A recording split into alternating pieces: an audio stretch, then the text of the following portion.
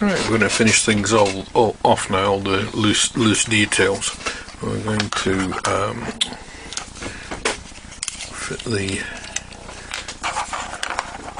support, so a li- little dab of glue. Else the feet might come off. We need three of these.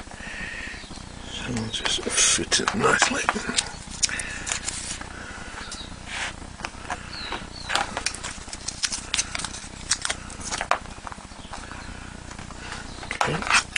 And this slides on from the back like that.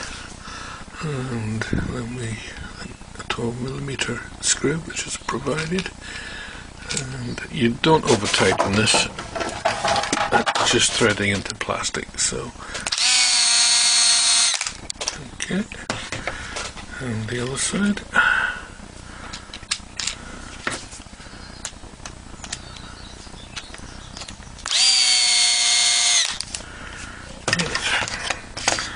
Very good. Alright, well, let's all finish off what we're doing beneath. There should be a little sticker just to cover the magnet. Uh, this isn't entirely necessary, but it's to protect the magnet from um, possibly being wrenched out by um, very strong Velcro that might be used in the future.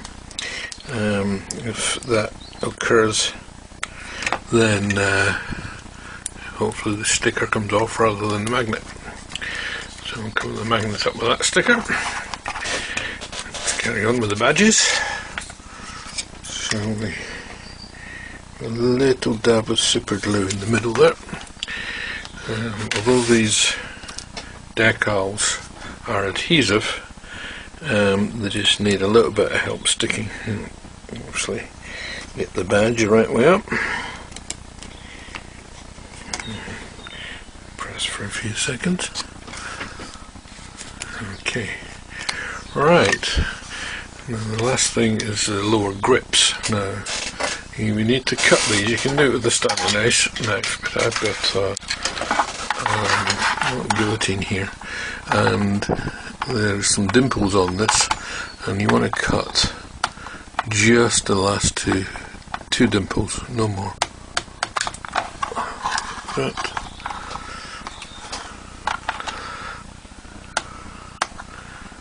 So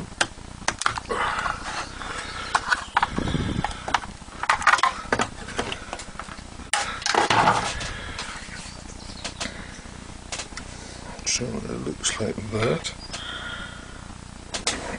Okay. Um, now this is silicon. Silicon's quite tricky to glue, so you want to use a, a good quality silicon, um, uh, multi-purpose silicon, the sort of stuff that tell, tends to sm- smell of vinegar. Uh, don't use the water-soluble variety. It has to be good quality. And spread that out a little bit. Alternatively, you could, which might be easier, to put it actually in the the grips. Slide one on from one side, one on from the other side, until they meet neatly in the middle. Now this adhesive's quite slow, so you might you'll need to leave it probably 24 hours to completely set. Well, the last thing to deal with is the Arduino. So the Arduino is going to sit in this case here. Um, this is a lid, and this is the case, so it's quite tight fitting. Um, and it will go in like that. Notice you put it in without the USB lead.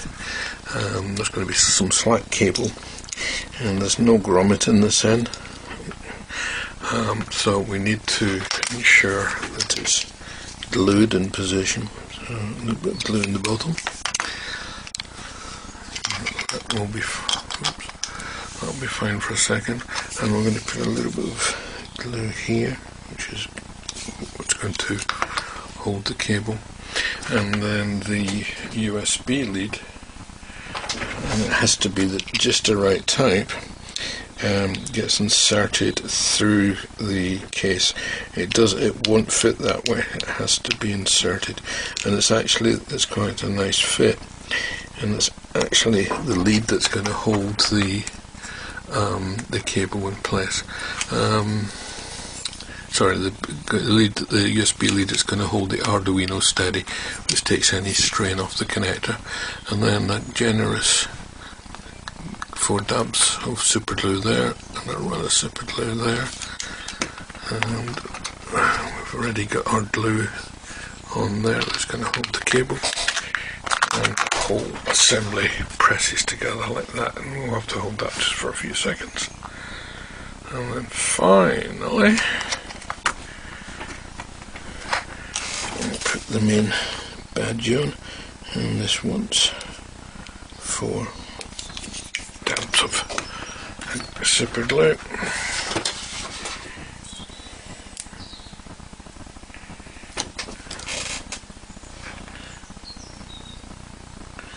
And that completes the, the build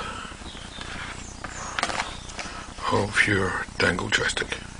Hope you enjoyed that. Oops, there you go.